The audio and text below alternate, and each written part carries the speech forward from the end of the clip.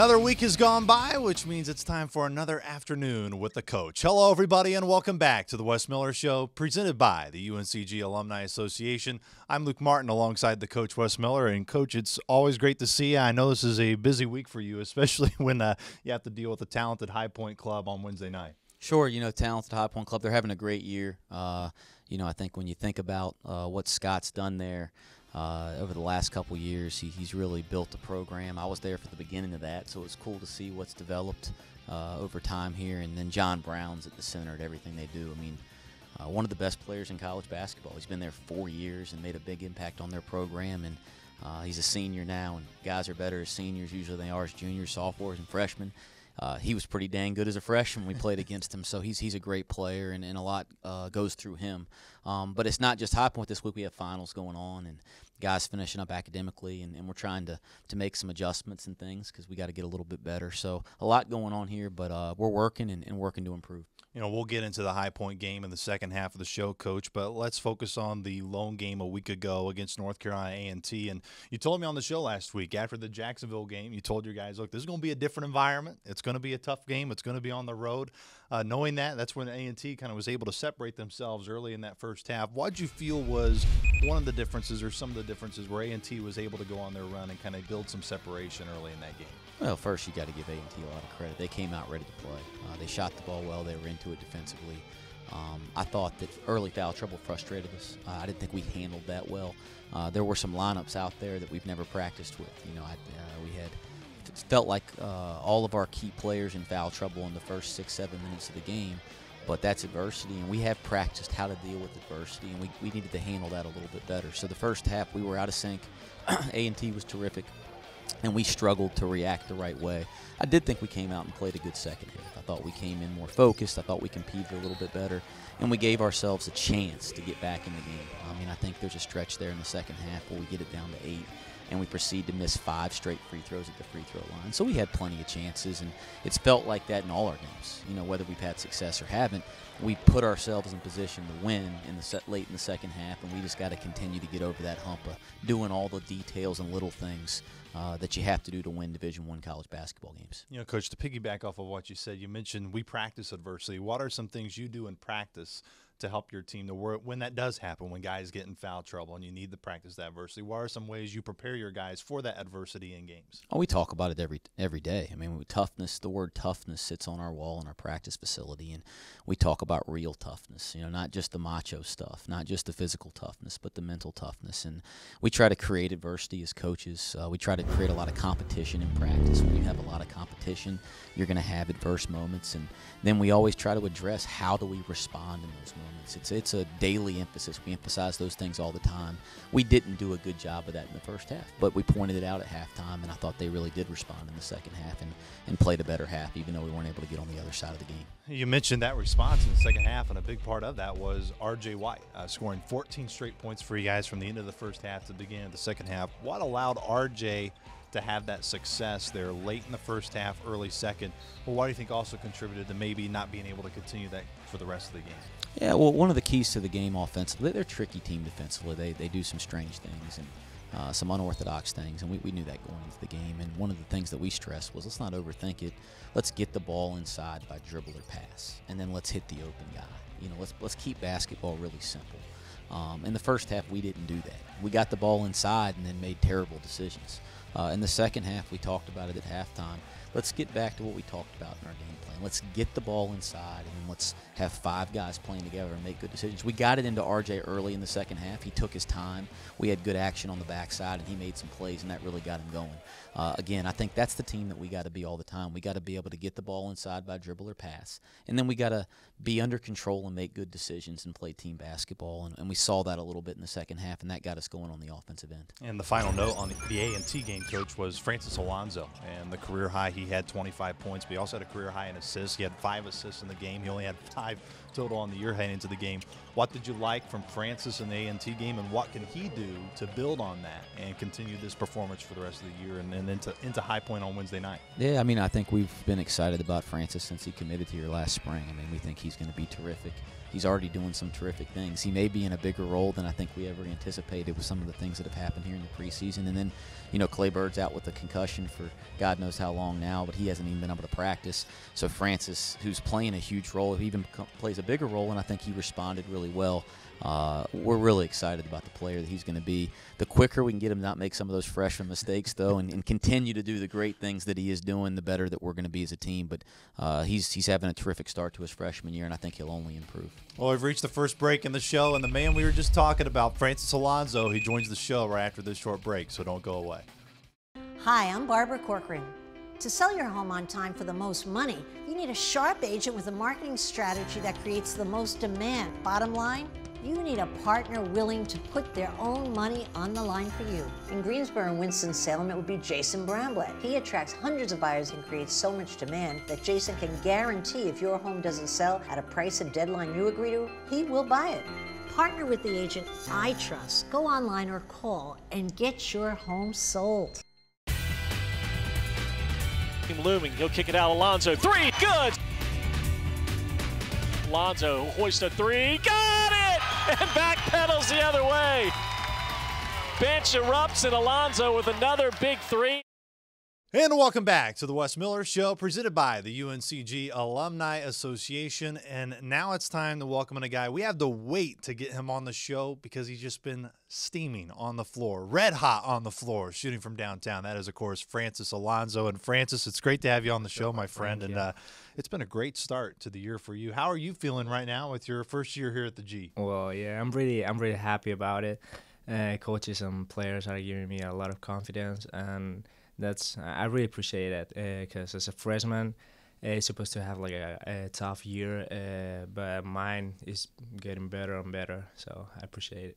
What's been the key to your success so far? You talked about your teammates helping you out and bringing you along. Uh, from you, from the success on the floor, what's been the key to that early on here? Well, this is, I think, a new year for me. So uh, I have to be uh, really uh, focused on practice uh, trying to learn everything uh, as quick as I can because uh, I'm a foreign and well language is kind of difficult you know but well I think I'm getting better uh, how I say my coach is giving confidence uh, to core and give me some minutes to to show that and well I'm feeling better every game and every practice and uh, we gotta keep it up yeah what do you feel is the biggest learning curve for you? I mean, you mentioned you're not from here. Uh, this is all new for you.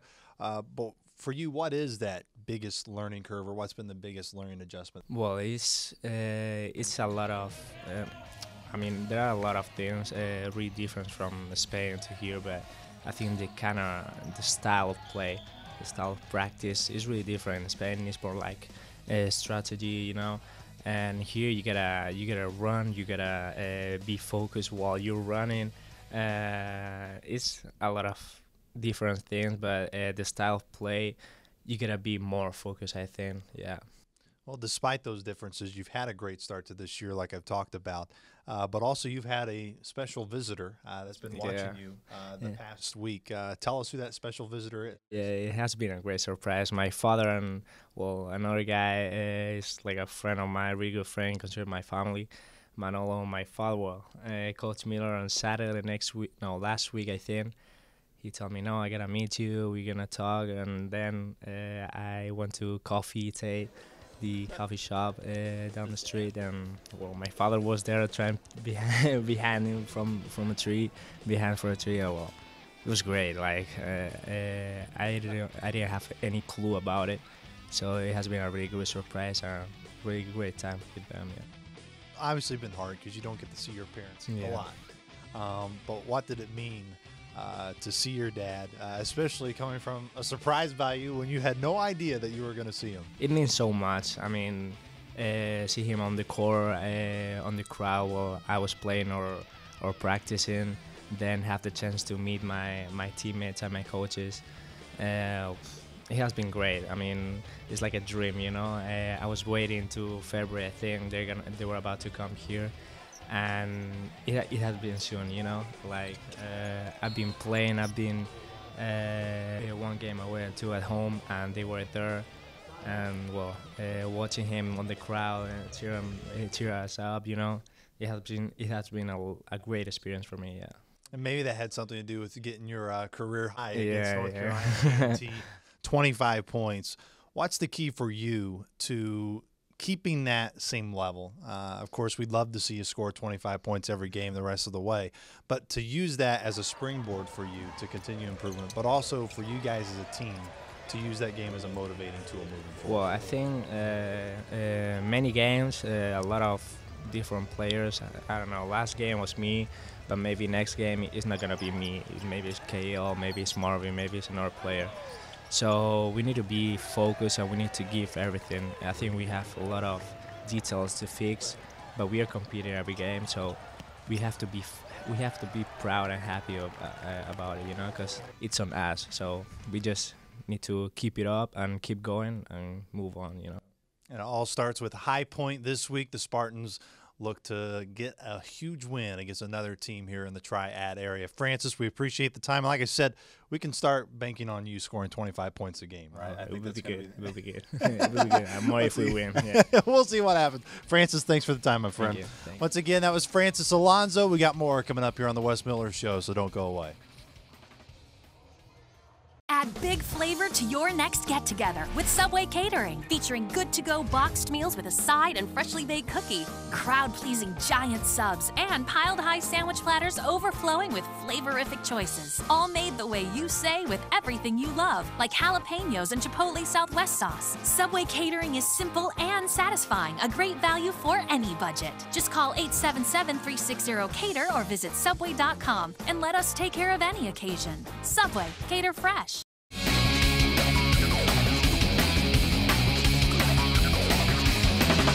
Welcome back to the Wes Miller Show, presented by the UNCG Alumni Association. And Coach, we just had Francis on, and he was telling us the story about how you and the team were able to surprise him with his dad uh, coming here and surprising him here in Greensboro. Uh, how hard was it to keep that a secret from Francis, and kind of how long was this story uh, story in the works? Well, his his dad said he was coming into town um, maybe a month before, um, and he said, "Don't tell Francis we want to surprise him." And he had a, a good family friend with him as well, uh, and so that that wasn't hard for me. I mean, I, I do what I'm told, type of thing. You know, I'm used to that at home. I, my wife tells me don't do something, I don't do it. You know, and and his dad said that, so we. Uh, you know, we, we didn't tell him. I told Francis to meet me at Tate Street Coffee for, for coffee at 11 o'clock on Saturday morning, last Saturday morning, and little did he know he was going to run into his old man there, and he was so fired up. I think it's it's different when you're uh, across the water, you know, and and he's it's so hard for him to see his family because they're all the way in Spain. So I think it's a little extra special uh, when guys like him and Jordy get a chance to spend time with their families here or over there because they don't get that opportunity like the rest of our guys. So I think it was a special moment for him, and I know he was thrilled to have family in town. You know, coach, and during the year, you obviously get caught up working, focusing on basketball and what you guys can do on the floor. But how neat is it for you to see a moment like that take place? To almost be a reminder of, this is why you coach, is to see moments like that and to see an impact of Francis when his dad comes back to see. him. Sure, it's special, you know, and I'd had the opportunity to go over to Malaga, Spain, and meet his family, and what a special family and, and great people, uh, and so it was it was really neat to. I've interacted with them, but I hadn't interacted with them around Francis because when I went there, Francis was here in high school, so um, it was really neat to see them together, and that is what it's about. I mean, it's we're, we're coaching young people. This isn't professional sports. It feels like that sometimes. Uh, of course, we take it that seriously, but we're coaching young people, and and, and there's an extra side to that that's special and important, and those kind of moments do remind you that, Luke. Well, now let's focus on Wednesday night against High Point. We talked to him about earlier in the show, John Brown and what he can do, but they are much more than just John Brown. This is a very talented team. From what you know of High Point, you know, because they're in the area, what impresses you most about them as a basketball squad? Well, I, you know, they're they have upperclassmen, and then obviously, like we said, it starts around John Brown. But they got upperclassmen that know how to play, that have won a lot of games. They've had tremendous success over the last couple seasons, um, and so when you watch them on tape, they look so secure in who they are as players and who they are as a team. You know, they're so secure in their roles from top to bottom. I mean, everybody knows John Brown's the guy. And so a lot of things are built around him, but the other guys do what they do really, really well. Uh, Lindauer is a terrific guard for him. I was watching him uh, on tape last night, and I've seen his progression from freshman, sophomore, sophomore to junior, and you can just see he started to settle into who he is as a player. He shoots it well, he makes great decisions, he plays well in the things that they do. Um, you know, the, the, same thing for a number of their guys. They've just developed. Adam Weary's a terrific guard that's played a lot of minutes for him. Cugini's a, a step out four man who can really shoot the three, who could always shoot the three, but he's doing so many more things. I mean, their personnel is really secure. They have a really strong identity. And then again, it all does come back to one of the best players in college basketball this year in John Brown, and, and they do a great job of playing around him. What specifically about John Brown keeps a coach like you from getting a lot of sleep? That's a great question, Luke. And we'll talk about this a lot with our guys. You know, he's going to make some spectacular plays and he's going to hit some tough shots. Those aren't the ones that'll bother us he's a great player because he gets so many easy ones. You know, he out the, the kid is really special because he outworks people. I mean, you know, you think about uh, you know players that are great players. How many times the first thing you say about them is they just play harder than everybody else? I mean, that's what makes him special. He plays harder than everybody on the floor, and because that, he finds himself around the ball a lot he gets you know more points just by going to the offensive glass or being in the right place at the right time because he plays so darn hard and he's so active. And you can say the same thing about the way he rebounds the ball. So you look at his numbers. Well, the guy shoots an unbelievable percentage. He rebounds the heck out of the basketball.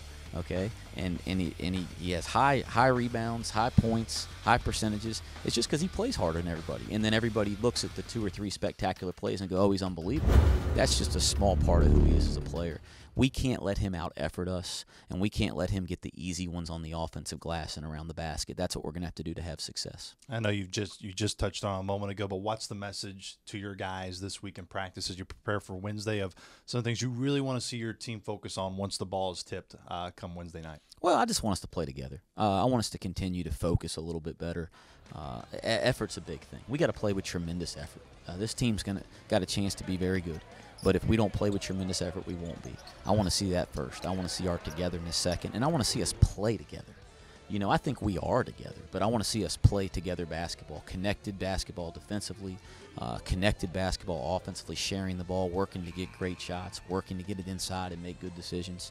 Um, and then we got to be better on the backboards if we're going to be successful. We're not rebounding very many of our misses, and we're missing enough that we have plenty of opportunities. So uh, we just got to try to put it together. And I, I think if we continue to build each and every day in practice, it's going to come together in games, and, and it'd be nice to get healthy too, Luke. You know, I, it just feels feels like every week it's something, and um, instead of getting down about that, I think you just keep pushing, and then it is going to come together, and it's going to feel pretty good when it does. But we'd like to have Jordy back out there. We'd like to have Clay back out there, and we'd like to keep these other guys heading in the right direction too. Well, no doubt it is going to come together, and hopefully it is going to be Wednesday night against High Point. We encourage all UNCG faithful to make that trip here in the Triad area and go support Coach Miller and the Spartans.